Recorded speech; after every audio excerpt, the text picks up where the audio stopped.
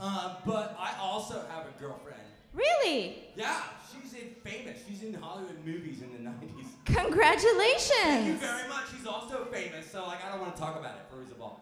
How famous is she? She's so famous that she has her own IMDb page that hasn't been um, updated since 2011, but that doesn't matter to me because I don't see her as a star. I see her as a mysterious, enigmatic figure.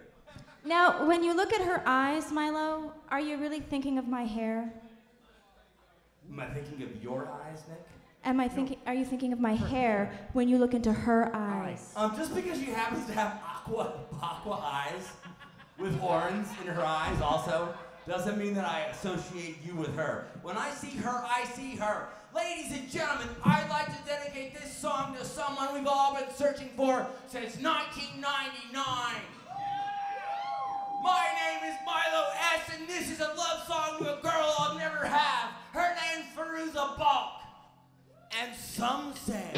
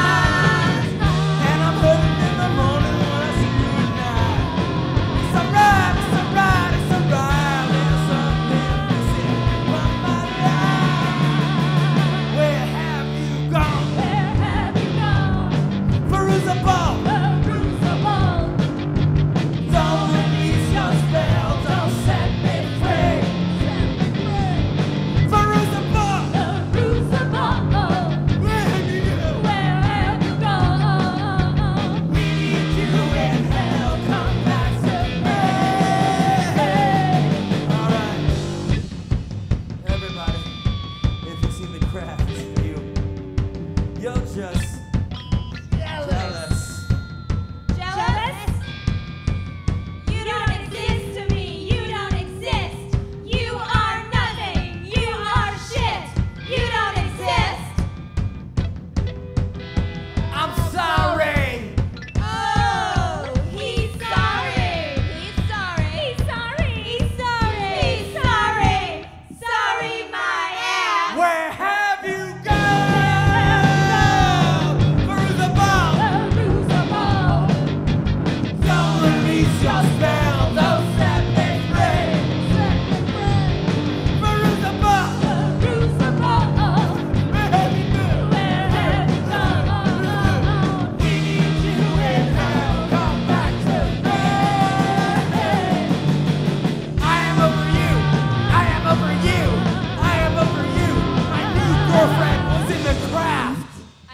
you.